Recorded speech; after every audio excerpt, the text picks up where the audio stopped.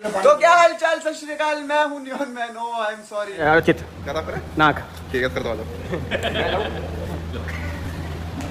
भाई एक बार पूरी गाड़ी का भाई वो बता दो हाय गाइस तो दोस्तों आज सबसे पहले बात कर लेते हैं एलविश यादव के बारे में। तो गाइस एलविश यादव ने अपनी गाड़ी फोर्स को कुछ अलग ही कलर करवा ली यानी कि गाइस एलविश ने अपनी पोर्स को रेप करवा ली है। गाइस आप उनकी कार को पहचान भी नहीं सकते। आप इस क्लिप में देखिए। आज शाम को बताओ हमने क्या करना delivery of our post delivery बच्चे की डिलीवरी लेने जाने का इसके बच्चे की जिसके पेट में डिलीवरी अभी नहीं होगी उसकी अभी टाइम लगेगा। मैं कह रहा हूँ भाई आज हम जा रहे हैं अपनी पॉर्श की डिलीवरी मैंने अभी तक अपनी फॉर्चुनर नहीं देखी पॉर्श भी नहीं देखी गाड़ी देख ही नहीं पाया। ना मैं अपनी डिलीवरी का टाइम होगा। भाई मुहूर्त निकल गया डिलीवरी का आ जाओ चलो चलो मैं मुहूर्त पार हो चुका। भाई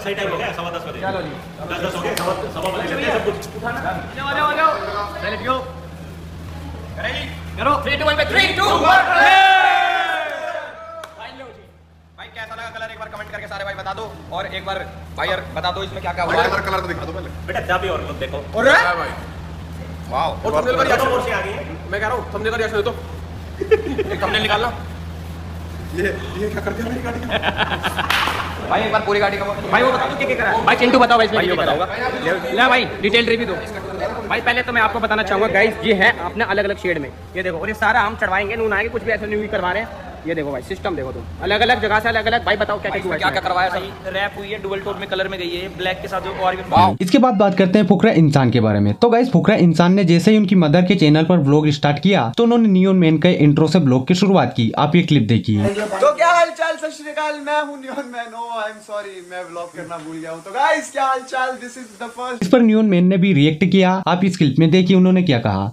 हाल चाल सत श्रीकाल मैं हूँ नियन मैन आज तो फुकरा भाई इंट्रो दे दिए तो चलिए अब वीडियो को स्टार्ट कर देते हैं। तो फ़र्स्ट ऑफ़ हम लोग बात करने वाले फुकरा इंसान के ही बारे में Basically, दोस्तों कल Fukra Insaan first time Twitter space पे ज्वाइन किए थे तो वहाँ पे उनसे काफ़ी सारे क्वेश्चन पूछे गए थे। एक जगह टॉपिक उठा था कि इनको फैंस की तरफ़ से तो बहुत सपोर्ट मिला लेकिन कुछ ऐसे भी क्रिएटर थे जो उनके क्लोज थे लेकिन वो बाहर आकर देखे तो उनकी तरफ़ से उन्हें कोई सपोर्ट नहीं मिल रहा था। और गाइस दोनों तरफ़ भी सपोर्ट नहीं बल्कि वो एकदम वन साइड सपोर्ट कर रहे थे। तो फुकरा इंसान इस कारण से थोड़े डिसअपॉइंट भी थे और उन्होंने क्या कहा? जब मैंने आके देखी चीज़ें कि मतलब बहुत सारे ऐसे लोग थे जिनके साथ हम हमेशा से रहे हैं और मतलब बहुत अच्छे दोस्त माना, फिर भी वो देखा कि वन साइडेड मतलब दोनों साइड सपोर्ट नहीं कर रहे थे एक साइडेड सपोर्ट कर रहे थे। ऐसे ऐसे जब हुआ तो मतलब वो बहुत ऑब्वियसली दिल को छूने वाली बात है, यार, तुम अगर मेरी जगह पे आओगे ना, तुम भी देखोगे कि अरे यार, ये तो भाई इसका दोस्त और ये आप, बिल्कुल आपका नाम ही नहीं ले रहा, आपको सपोर्ट ही नहीं कर रहा। तो वो चीज़ें कहीं ना कहीं ऐसे बुरी लगती है और फिर देखते हैं कि ऑडियंस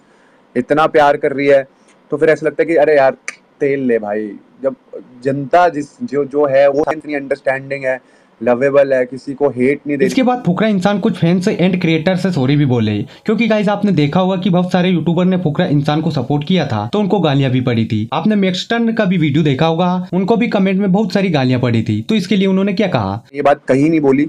मैं पहली बार बोल रहा हूँ। I am so sorry to any जिसको मेरी तरफ़ से एक भी गाली सुनने को, एक मिली, एक भी मतलब मैक्सटन को मैंने इतना देखा कि उसको 24 24 घंटे गाली उसने सुनी है तो मतलब दिल से मेरा सॉरी है उन उन लोगों को जिनको गाली पड़ी। क्योंकि मैं ऐसा बंदा हूँ, मैं हमेशा ये चाहता हूँ कि हर इंसान प्यार करे प्यार बांटे आगे। दोस्तों आपको पता होगा कि फुकरा इंसान एक इंटरव्यू में बोले थे कि एलविश यादव को तो अपनी फेवरेट एक्ट्रेस आलिया भट्ट की तरफ़ से अप्रिसिएशन मिल गया लेकिन मुझे सोनम बाजवा की तरफ़ से फॉलो बैक मिल जाए। तो वो ऐसे ही मस्ती कर रहे थे। तो उनके फैंस ने जाकर सोनम बाजवा के कमेंट में जाकर स्पैम करने लगे कि फुकरा इंसान को फॉलो बैक कर दो। ये चीज़ देखकर सोनम बाजवा की तरफ़ से भी रिएक्शन आए। उन्होंने क्या कहा? आप खुद सुनिए। इसके बारे में फुकरा इंसान ने क्या बताया? सोनम बाजवा ने रिसेंटली अपने किसी मतलब हमारे किसी मैनेजर को बोला कि ये फुकरा इंसान कौन है? मेरा कमेंट सेक्शन स्पैम्ड है उससे। तो मैं रिक्वेस्ट करता हूँ लोगों को प्लीज़ उन्हें और परेशान ना कीजिए।